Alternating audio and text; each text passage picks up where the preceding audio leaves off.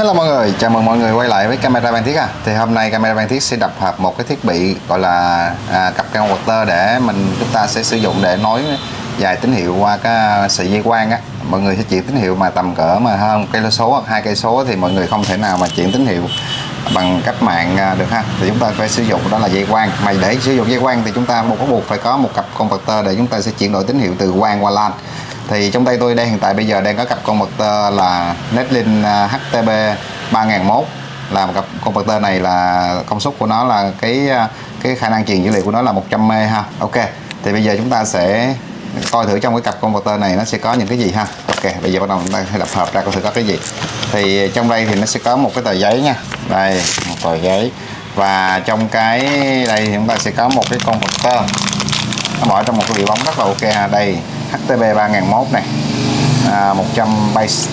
Đây đây là cục A nha. Các bạn nhìn thấy cái hiệu đây này nó sẽ ghi là HTB 3001A thì có nghĩa là cục A. Rồi tiếp theo nữa chúng ta sẽ có một cái cục thì chắc chắn cục này sẽ là cục B rồi. Chúng ta sẽ có cục uh, HTB 3001 và đây là cục B. Các bạn thấy cục B không? Rồi.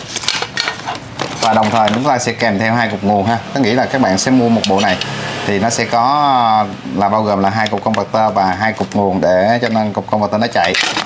Rồi, ok. Thì các bạn sẽ nhìn thấy đây ha. Đây là là full bộ của nó.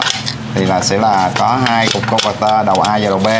Và ngoài ra thì nó sẽ có thêm là hai củ nguồn. Đó. Và một cái tờ giấy này à, là để gì đó, thông số kỹ thuật hay là cái gì đó, không, cũng không rõ nữa, các bạn đọc đi ha. Rồi.